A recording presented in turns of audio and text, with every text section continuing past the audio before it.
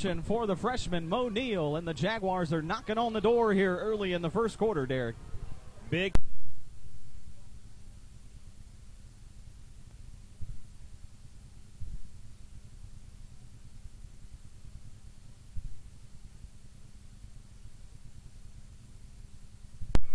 The Jaguars will come out in what looks like a power I formation, two receivers ride, bunch formation. And it looks like Logan Bradley will jump up and he's in over the pile. Touchdown, Forestview.